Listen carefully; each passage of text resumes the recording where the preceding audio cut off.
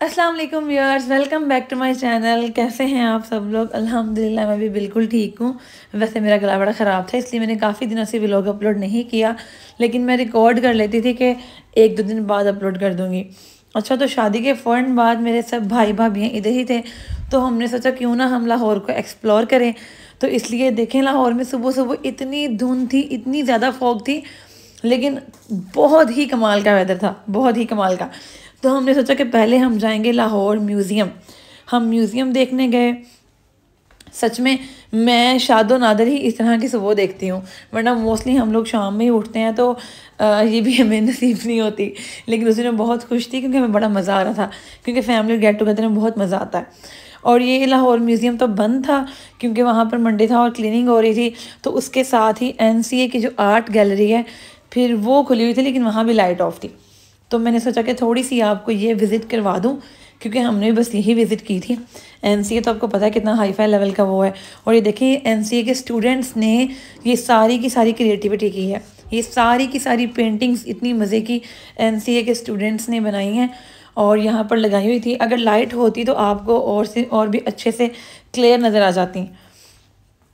तो लेकिन मैंने तो अपनी तरफ़ से फुली फोकस किया था कि मैं सब दिखाऊँ। लेकिन मैं बहुत इम्प्रेस हुई देख के। कि कितना मतलब स्किल्स है ना बच्चों में, आजकल के बच्चों में तो कितनी अच्छी पेंटिंग्स हैं। मैं बहुत ज़्यादा हैरान हुई थी ये देख के। बहुत ही मुझे अच्छी लगी। और यहाँ पर आपको मैं एक पेंटिंग दिखाती हूँ।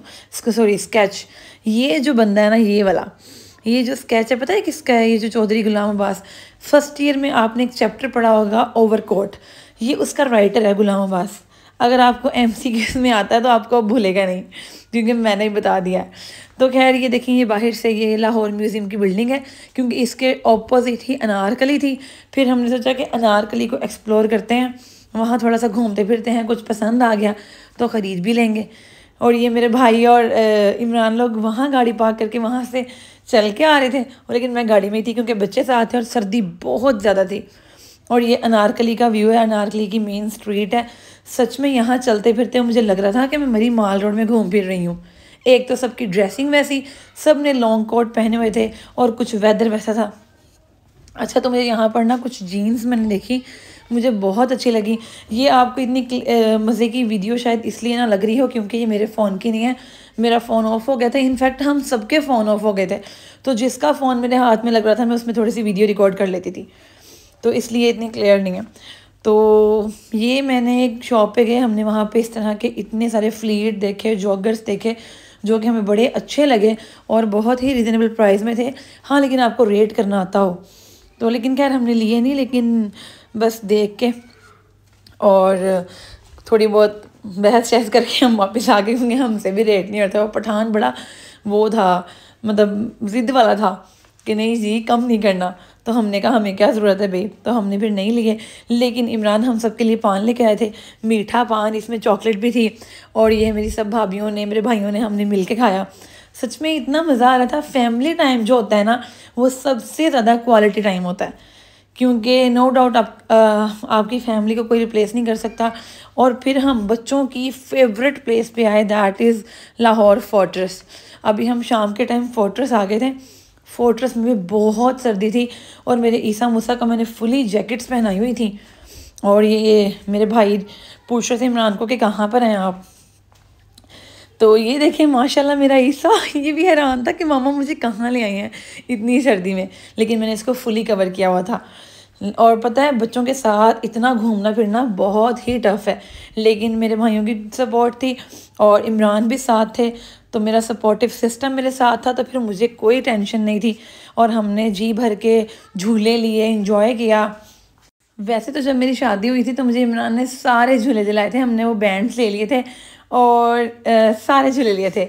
लेकिन आज फैमिली के साथ दोबारा से दिल कर रहा था वो चाइल्डहुड वाली फीलिंग्स लेने को।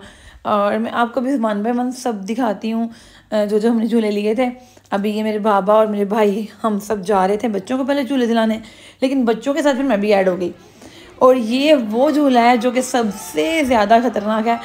इससे इतना डर लगता है, पता है, इसकी इतनी लंबी रॉ थी। हम लाइन में लगे हुए थे और आ, हम इतना हंस रहे थे इतना शुगल मेला लगा रहे थे। मेरे भाई मुझे कहते हैं मुझे ऐसी फीलिंग आ रही है। मुझे तो पेपर स्टार्ट होने से पहले नहीं आती। बंदा इतना नर्वस होता है और काँप रहा होता है। वैसे वाली फीलिंग आ रही है। इस तरह के इतने सारे जॉक्स कर रहे थे हम। और हंस हंस के बुरा हो रहा था लेकिन सच में लोग इस कदर चीखें मार रहे थे। आ, मैं उनकी चीखें रिकॉर्ड भी की थोड़ी सी लेकिन इस वाले झूले पे बहुत मज़ा आया। हम ये बच्चों के लिए नहीं है, बस बड़ों के लिए लोग भाई उनके लिए जो कि बड़े मतलब नाजुक दिल के नहीं हैं। ठीक है? वैसे मैं भी इतनी नाजुक दिल की नहीं हूँ मतलब इस मामले में। तो अगर कोई बंदा बहुत नाजुक दिल का है तो वो ये ये वाला झूला बिल्कुल ना ले। आई थिंक इसको डिस्कवरी बोलते हैं। मुझे नाम नहीं याद आ रहा इसको क्या बोलते हैं, लेकिन ये पूरा का पूरा उल्टा कर देता है आपको। तो तब जो दिल बाहर आता है ना, और ये वाला झूला हमने पहले लिया। ये मैंने, इमरान और सीरत ने लिया। और इसमें भी हमें बड़ा मज़ा आया।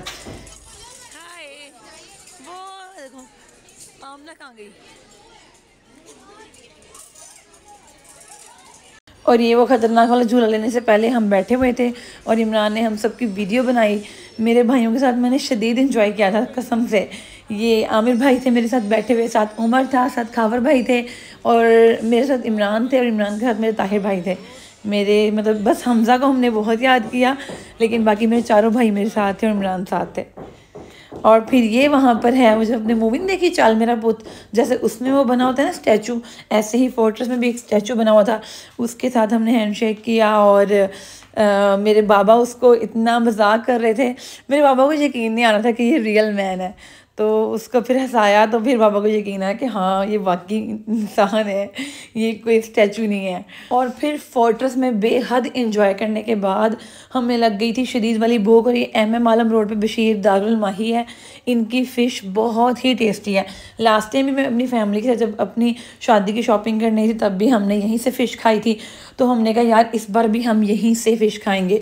इनका इनसाइड इनका आउटसाइड दोनों सीटिंग है और दोनों ही बहुत मज़े की लेकिन बाहर बहुत सर्दी थी तो हमने कहा, यार, अंदर बैठते हैं। और पता नहीं मैं फ़िश की रिकॉर्डिंग नहीं कर पाई शायद, क्योंकि तब बच्चे भी तंग करने लग थे। लेकिन ये सारा इनका आउटसाइड है और ये इनसाइड और इनकी फ़िश बहुत मज़े की होती है। आपको पता है एम एम आलम रोड का पता होगा, वहाँ पे जो जितने भी टॉप क्लास ब्रांड्स हैं लाहौर में, वो एम एम आलम रोड पे ही है। तो ये था जी मेरी आज की आउटिंग होप सो आपने मेरे आज का व्लॉग भी बहुत इन्जॉय किया होगा। मिलते हैं इंशाल्लाह नेक्स्ट व्लॉग में। तब तक आप मेरे चैनल को सब्सक्राइब कर दें, मेरी वीडियोज़ को लाइक कर दें। अपना ख्याल रखें। अल्लाह हाफिज़। Take care thank you so much for watching bye